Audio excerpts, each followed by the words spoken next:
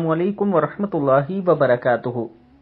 वो जवान जो अपने मुल्क के लिए ड्यूटी देते हैं और अपने मुल्क के लिए अपनी जान की परवाह नहीं करते, उनका ताल्लुक पाक फौज से हो या किसी दूसरे इदारे से हो, अगर वो अपना काम ईमानदारी से करते हैं तो उनकी तारीफ़ बनती है। आज मैं अपने दोस्तों के साथ एक वीडियो शेयर कर रहा हूँ। आप दोस्त जरा ये वीडियो मुलायजा कीजिए।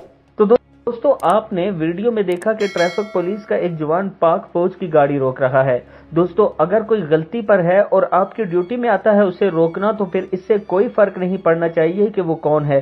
चाहे मुल्क का वज़ीर आज़म हो, उसे रोकना चाहिए। इसी तरह हमारा मुल्क ठीक हो सकता है और इसी तरह हमारा मुल्क तरक्की कर सकता है। मैं ट्रैफ़िक पुलिस के इस एहलकार को सलाम अकीदत पेश करता हूँ। और हुकूमत वक्त से कहता हूँ कि इसे अवार्ड देना चाहिए कि इसने अपनी ड्यूटी सही तरीके से निभाई है। असलकम वरहमतुल्लाहि